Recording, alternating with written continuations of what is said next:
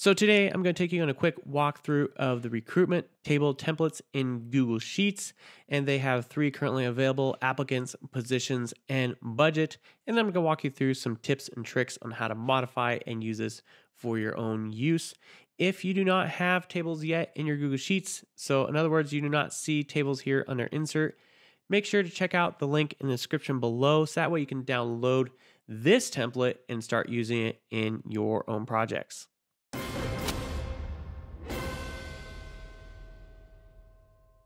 So let's go ahead and jump right in. First of all, I'm going to walk you through each of the three templates. They have applicants, positions, and budget. And then I'm going to go back through and show you some of the cool features of tables as well as how to modify this for your own use. So let's go ahead and jump right into the first one, which is called applicants. And so under applicants, we have the smart chips for names. And so if you have not used that, you just type in at and then start typing their name or their email address, and then it'll turn into a smart chip that you can hover over and see some of their details and send them an email straight from there. Next, we have a drop down with the stage, and I'll show you later how to modify that. You can type in their role, select the team they'll be on, and then you can attach their resume as a file here. If they send it to you, you can just drop that link in here and convert it to a chip and it makes it nice and clean and you can just click on that to get to it. You can put in a name chip as well if you want to do that for the interviewer or i'll show you how to change that to text if you just want to type in their name. And then you can select the score that you want to give them and i'll show you later how to do the rating chip and then just a text one for notes. Next up is positions and so positions you can select a priority and then type in the position name. And again, select the team they'll be on. You can actually put it in a place tag here, which is kind of like maps. And so you could type in the address, or you can just type in and put in uh, a place like this and then just tag it like that. You can select the status for that position, um, the post date, and how many days it's been posted, and any notes for those positions as well. And then finally, we have budget. And so you can put in the position, and then the current status for that position and the available budget, as well as the start date and notes for that position. All right, so let's go ahead and circle back around. So, one of the big cool features with tables is that they have this cool group by feature.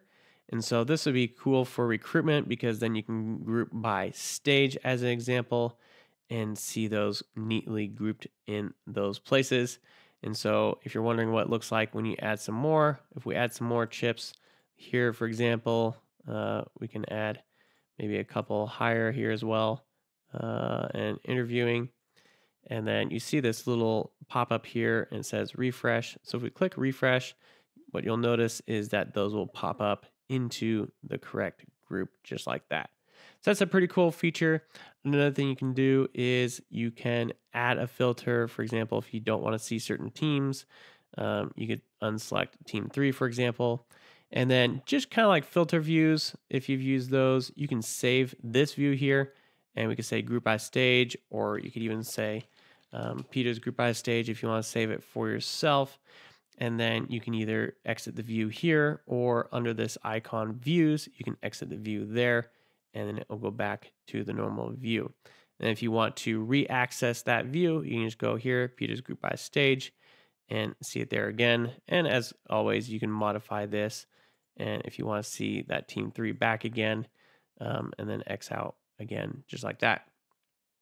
So the next thing I want to show you real quick is how to use filters on these tables. And so if you're used to using filters from this create filter here or create a filter here and seeing those filter headers there. This looks a little different. So you can filter again still from here um, using the filter column and then you can see it there. So it just takes an extra click to get to that.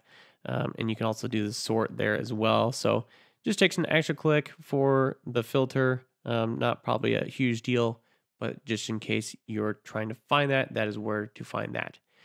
Now, inserting columns or rows. So columns is easy to insert. Just right click on that column header and then you can just insert a row there just like that. You can delete one.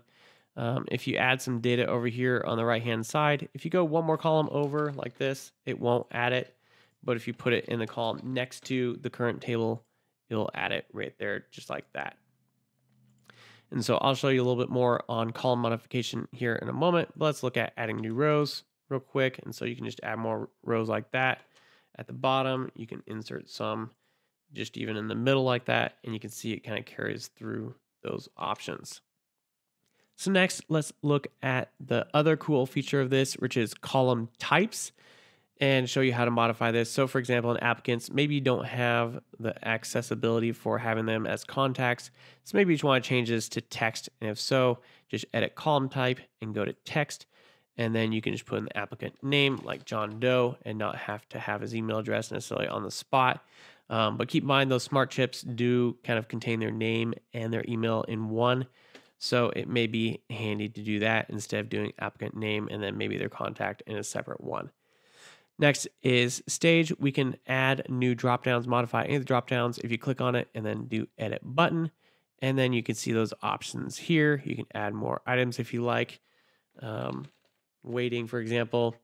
Uh, you can also change this to an arrow if you prefer arrows, uh, and it changes it to that.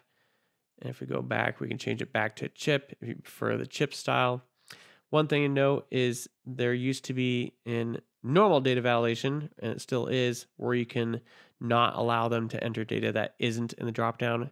Uh, for some reason, that's not here on the table version, so I'm not sure what the reasoning behind that was, um, but just keep that in mind that you're not able to keep them um, from doing it, and it's going to give them this error, but they can still type it in. You can't force them not to be able to put that in.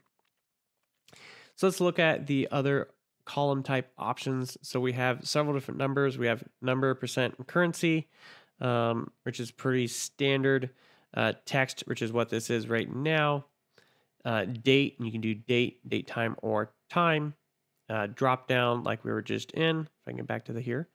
Uh, you can do check boxes just like this. And then you can do smart chips. And so I kind of explained the people one You can also do files here, like I'll show you in the resume. And so you can do this and um, select a file there, just like that. And then it gives you a link to that file. Um, let's go back here. And then uh, also under Smart Chips is finance, which typically what I've seen is for like stock prices and stuff like that. Um, and then place, where you can put an address and it syncs to that place and, and it gives you a pop up for that. And then finally, rating. And let's go ahead and actually add that over here. Um, this is probably a little more appropriate than their drop down. And so then you can put in these like that, and it gives you a little more visual of their scoring if you like. Um, or if you prefer a number, you could convert it to um, a number here like this and see it that way. Um, so it's kind of really up to you what, what works best for you. And then let's go back over here and we can change this to none as an example. Um, and then because I had this on checkboxes, it still has that false text in there, um, just like that. So lastly, uh, let me go back to uh, text here and then show you. So this placeholder, as you can see, all these have placeholders. And so you can actually remove the placeholders if you like, just by unchecking that show placeholders. Um, and if it's a text one, it's going to show up based on whatever um, you enter in there. If you select, for example, a date, then it's going to show up like that and so forth. So that's how those work. Um, just like that. Go ahead and reset that to role. And then that is all the column types. And then finally, what I want to do is show you how to reference tables in formulas, and then we'll wrap up this video. So we'll just do a quick sum here. Let's do a count a of, um, and we actually need to name this table first. So let me get it ahead of myself. Let's rename this table to applicants. And so when you name a table, you can't have a space in it. It'll give you an error there, and you also can't have a number at the beginning. Um, so let me go ahead and get rid of this name at the end.